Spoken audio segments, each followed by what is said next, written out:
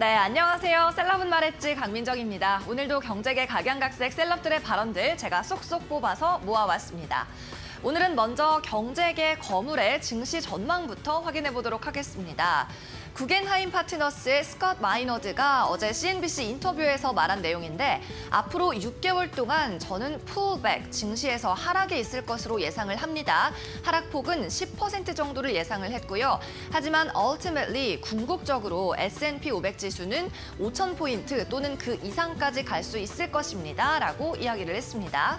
또 다음 전망도 살펴보면 자 crypto 암호화폐 시장에서 자금이 빠져나갔습니다. 하지만 사람들은 여전히 인플레이션 헤지 수단을 찾고 있기 때문에 gold and silver 금과 은의 인기가 높아질 것입니다. 라고 말을 했습니다. 자, 이 구겐하임의 CIO 이야기를 종합을 해보면 증시가 향후 6개월 동안은 조정을 받을 것 같고 또 금과 은 가격은 높아질 것 같다라는 이야기인데 어쨌든 6개월이면 올해 내내 증시가 좀 빠질 수 있다는 말인 것 같습니다. 고문님도 여기에 동의를 하시는지 또 우리 투자자들 하락장에서 어떻게 대처해야 할지 궁금한데요. 스튜디오에서 자세한 이야기 들어보시죠. 네, 자, 첫 번째 이야기, 셀럽은 스콧 마이너드, 구겐하임 CIO입니다.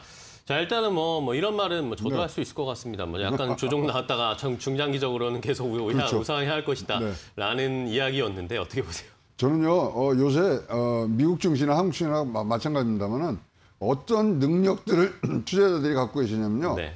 악재를 호재로 만드는 아주 어허. 강력한 힘을 갖고 있습니다. 네. 우리가 생각하기에 이건 주가 하락이야 하는데도 어 주가 하락 그럼 저가 매수의 기회로 어. 생각하고 이거를 바꾸는 능력이요. 어 제가 뭐 겪어본 이런 어 뭐 장에 있어서 최고치를 지금 달하고 음. 있- 있다고 보여지거든요. 네. 그래서 6개월씩 이렇게 하락을 그냥 방치할 개인 투자자들이 아닙니다. 네. 그래서 저는 어 6개월이 아니라 어, 2분기 말까지는 고점 형성을 계속해가 나갈 것 같습니다. 오. 근데 어, 그러면서 이제 지금 7월 달이 분기점인데 7월 달에는 여러 가지 지금 현상들이 있습니다. 미국의 그 뭐 전체 집단 방역이 완성되고요. 7월 초에는 어, 지금 바이든 대통령이 원하는 이 인프라에 대한 아, 국회 예산이 통과될 것으로 지금 보여지고 어, 있거든요. 그렇죠. 그렇다면 다시 한번 모멘텀을 아, 뭐 지닐 수 있기 때문에 어, 제가 보기에 어, 조정장은 분명히 지금 조정장이고 조정장이 얼만큼 가냐 어, 저는 한 달 내지 두 달 정도는 조정장을 갈 수 있고 그 이후에 에, 정점을 찌른 이후에는 지금같이 급한 어, 뭐 상승세는 아니더라도 계속 우상향하는 모습들을 보일 수 있는 어, 그런 어, 장을 지금 갖고 있기 때문에 한번 이것들은 조금 우리가 어, 단기적으로 좀 잘라서 생각하시는 부분들로 가야 됩니다. 6개월 요새 시장에서 6개월 이거는 너무나 긴 얘기입니다. 그러니까요. 그렇습니다. 스콧 마이너드의 이야기를 들었는데 너무나 평범한 이야기였다라는 걸로 좀 어, 가름을 하겠습니다. 자, 다음 또 이 셀럽의 이야기 확인해 보겠습니다. 다음 셀럽은 누구죠? 강민정 캐스터. 네, 다음 셀럽도 전해드리도록 하겠습니다. 위안화가 달러 대비 3년 만에 최고치를 기록을 했습니다. 위안화의 상승은 성장의 둔화를 이 시그널로 주는 것이기도 해서 이 중국 정부 난국이다라는 이야기가 나오는데 전문가들은 뭐라고 했을까요? 미즈호 은행의 아시아 통화 전략가 켄 청의 말 들어보겠습니다. 어제 파이낸셜 타임즈의 한 기자에게 인터뷰한 내용이었고요. The People's Bank of China, PBOC라고도 하죠. 중국 인민은행은 리스크로 인식하고 있습니다. 무엇을? 런민비, 인민폐, 즉 위안화의 평가 절상을 위험으로 인식하고 있는데 왜냐하면 중국의 growth momentum, 성장 모멘텀이 1분기에 낮았기 때문입니다. 느렸기 때문입니다. 라고 말을 하고 있습니다.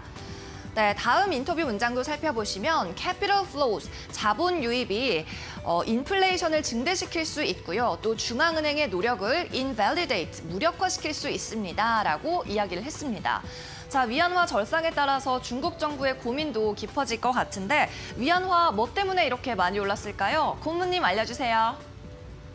자, 이번엔 중국 쪽의 네. 위안화 관련된 언급인데 자, 이 중국 인민은행이 어떤 움직임을 나타낼지도 궁금합니다. 크게 보시면요 위안화 약세죠. 약세의 네. 큰 원인은 한 가지였습니다. 미중 간의 무역 전쟁이었거든요. 그쵸. 어, 뭐잘 아시겠지만 홍콩의 국가보안법 시절에 7.12까지 올라갔던 부분들이 있는데 이 부분이 이제 바이든 행정부로 바뀌면서 굉장히 지금 뭐, 어, 물 밑으로 지금 내려가 있는 어, 부분들이 있기 때문에 어, 이 부분들은 어, 사실적으로 어, 뭐 일부러라도 어, 위안화 상승에 대해서 지금 뭐 조금 어, 중국 당국은 어, 자제를 하는 부분들이 있는데 네. 왜 그러냐면 지금 어마무시한 중국이 지금 어, V자 반등 하고 있거든요. 근데 위안화가 강세가 어, 지금 뭐 계속 가는 부분들은 사실 플러스입니다. 물가를 잡아야 되는 중국 당국의 에, 부분들을 봤을 때 이것들은 자연스러운 모습으로 보여지고요. 네. 사실 4월달, 3월달에서 기준금리도 지금 뭐 1.6% 지금 어, 내렸어요. 그다음에 추가 조정도 0.6% 갔기 때문에 자 그래서 이 부분은 어떻게 보시면 되냐면요. 일단 중국 위안화의 강세라는 것을 떠나서 달러화가 너무 약세가 되고 있습니다. 계속 그래서 어, 중국의 이제 경제 회복 기대감 이런 것들이 이제 합쳐지면서 달러 약세가 주 원인이라고 보여지고요. 그다음에 이제 중국의 그 무역 흑자 중에 이제 변화 등이 많이 생기는데 달러가 약세가 되다 보니까 전 세계 외환 보유액 중에 지금 어, 위안화 자산이 좀 두드러지게 지금 높아지고 있거든요. 아, 등등 어, 여러 가지를 봤을 때 지금 위안화의 에, 부분들은 어, 조금 뭐 약 강세로 가는 부분들이 있는데 그러다 보니까 중국 내에서는 뭐라고 하냐면요. 네네. 자 이거 통제할 필요 없다. 아, 자연스럽게 시장에 한번 맡겨보자. 어, 그런 의견들로 나오는 걸 봐서 크게 에, 지금 어, 뭐 양국 미국과 중국의 어떤 위협적인 요소로 떠오르지는 않고 있는 걸로 지금 어, 보여지고 있습니다. 네. 자, 일단은 뭐 위안화 강세도 강세지만 달러 약세 흐름이 이어지고 있다는 것에 우리가 조금 포커스를 좀 더 맞춰봐야 되겠습니다. 자, 그럼 마지막 셀럽의 이야기 확인해 보겠습니다. 한미정 캐스터 전해주세요. 네, 이제부터 트위터에서 물건을 살 수도 있을 것 같습니다. 트위터 최고 재무 책임자의 발언 들어보겠습니다. 자, 이번 셀럽은 네드 시걸입니다. 지난 새벽에 JP모건에서 주최한 인터넷 회의에서 이렇게 말했는데 트위터의 유저들이 to click and buy something, 클릭하고 물건을 구매하는 것까지 트위터 상에서 완료할 수 있어야 합니다. 라고 말했습니다. 자, 사람들은 무언가를 사기 전에 do a lot of research on Twitter. 트위터에서 굉장히 많은 조사를 한다고 하면서 이것은 great opportunities, 굉장한 기회입니다. 우리의 어, 구매자들과 advertisers, 광고주를 연결해 줄 수 있는 아주 좋은 기회입니다. 라고 말을 하고 있습니다. 자, 트위터에서 옷도 사고 뭐 가구도 사고 이럴 수 있으면 참 편리할 것 같은데 앵커님과 고모님은 어떻게 생각하고 계신지 스튜디오로 다시 한번 넘겨드리면서 저는 여기서 물러가겠습니다. 저는 내일도 셀럽들의 말말말과 함께 돌아올게요.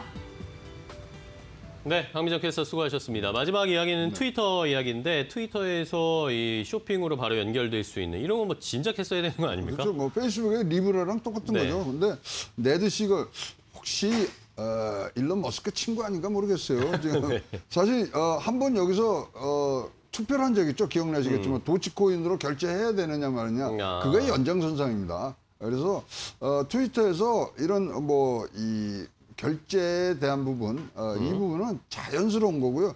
잘 아시겠지만 지금 중국이 어, 디지털 어, 위안화를 완성을 하는 가장 큰 원인은 알리바바와 텐센트의 예, 결제의 90%가 전자결제거든요. 아, 그렇기 때문에 이 부분은 자연스러운 것으로 지금 뭐 여겨지고요. 진짜 핀테크냐 테크핀인가의 이제 어, 기업 간의 싸움이 굉장히 심화되는 부분들로 지금 가고 있는 부분.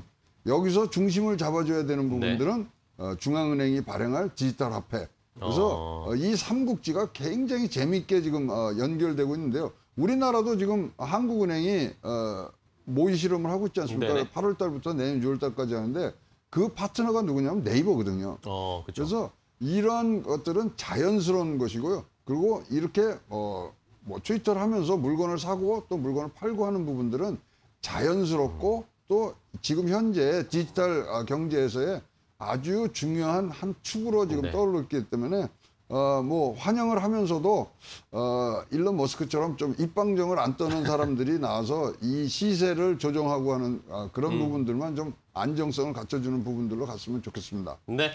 자, 이렇게 핀테크, 테크핀, 그리고 CBDC, 중앙화폐까지, 중앙 디지털 화폐의 패권 싸움이 펼치, 치열하게 펼쳐지고 있다 라는 것까지 함께 확인을 해봤습니다. 자, 오늘 와치업 그리고 셀럽은 말했지까지 최영 고문과 함께 이야기해봤습니다. 자, 오늘 또 좋은 재미있는 이야기 알려주셔서 감사하고요. 내일 뵙도록 하겠습니다. 고생 많으셨습니다. 고맙습니다. 고맙습니다.